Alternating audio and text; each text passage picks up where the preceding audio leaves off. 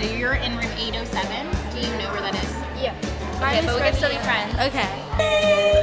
Welcome to Short Pump. Good morning. Happy We're so happy.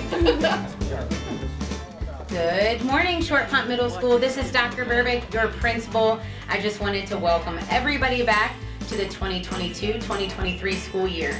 We are so excited you are here. We cannot wait to see all of the great things that you are all going to do this year. Students, we're excited to see you throughout the day. If you have questions, stop an adult in the hallway and ask. Um, don't worry to ask for help. We're all here to help you out. Everybody have a great day and we'll see you at lunch.